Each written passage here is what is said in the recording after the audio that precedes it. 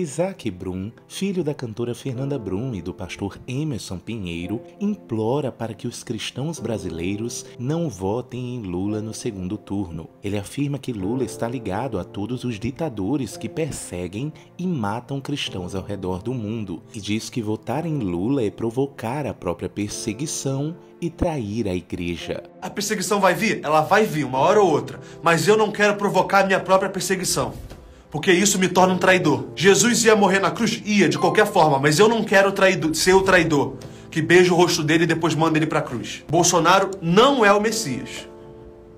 Mas o Lula não representa o que a Bíblia defende. É sobre votar para que nós não sejamos impedidos de crer amanhã. Provocar a minha própria perseguição me torna um traidor.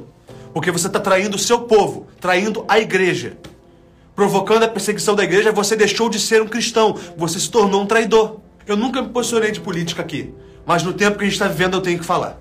O Lula não defende os direitos da igreja, não defende os ideais da igreja.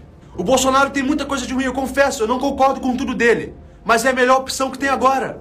É tudo que, que temos agora. Ele não é o Messias, ele não é, é o ultra santo de tudo, não é, mas é o que tem para agora. É isso ou o Lula que está fechado com todos os ditadores que perseguem a igreja? Eu estou falando isso pelo bem dos meus irmãos perseguidos, que estão agora na Venezuela, que estão agora em Nicarágua, sendo proibidos de andar com a sua Bíblia na rua. É porque eu não quero isso para o nosso Brasil. Por favor, gente. Não estou aqui para puxar saco de político. Eu estou aqui para fazer um alerta. Pelo amor de Deus, não votem em quem quer a nossa perseguição. Em nome de Jesus.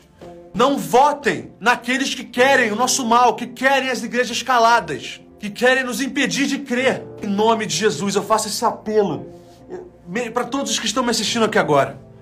Tenham consciência e votem em quem não quer o nosso mal. Bolsonaro não pode representar tudo, ele pode não ser o Messias, mas é o que tem para agora. É alguém que não está procurando a nossa perseguição. É alguém que não nos quer mal. Não concordo com tudo dele, não, não, não concordo com tudo que ele fala. Tem coisas que eu creio sim que ele vacilou, mas é o que a gente tem para agora. Pelo amor de Deus, igreja. Pelo amor de Deus, eu não entendo como tem gente votando no Lula sabendo que ele está fechado com todos os ditadores que estão matando cristãos.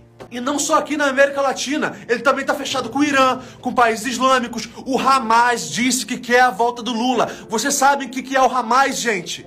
O Hamas é o grupo terrorista que é contra Israel, da Palestina. É o grupo que quer a morte de todos os judeus, que quer a morte de todos os cristãos. É isso que você quer para o Brasil? Pelo amor de Deus. Em nome do Senhor Jesus. Se posicionem, falem na internet.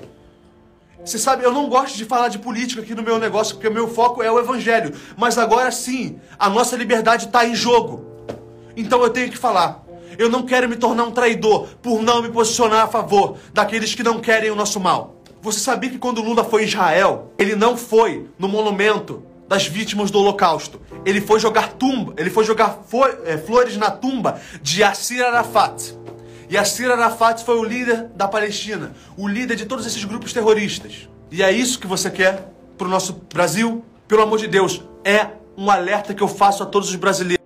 Não é o Messias do Bolsonaro, mas é o melhor que temos para agora.